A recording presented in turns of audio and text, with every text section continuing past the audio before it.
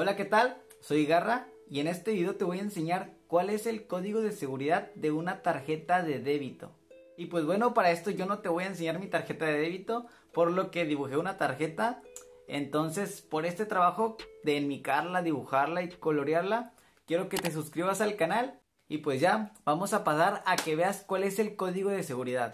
Bueno, pues esta es la tarjeta de crédito y el código de seguridad se encuentra al reverso de la misma. Y se puede distinguir porque son los últimos tres números de nuestra tarjeta. En algunas ocasiones este número en vez de tres pueden ser cuatro.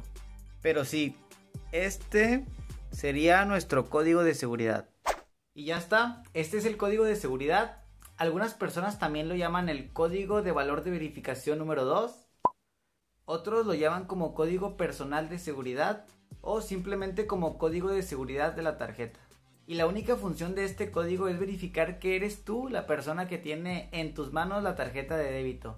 Por ejemplo, en caso de que te roben la tarjeta de débito y pues el ladrón salga con tu tarjeta, con tus credenciales, con tu cartera, con todo, pues lo que debes de hacer es dar de baja tu tarjeta y ya si esa persona o cualquier otra persona no va a poder hacer ninguna compra con tu tarjeta. Pero ya está, quedó todo claro, entonces nos vemos en el próximo video.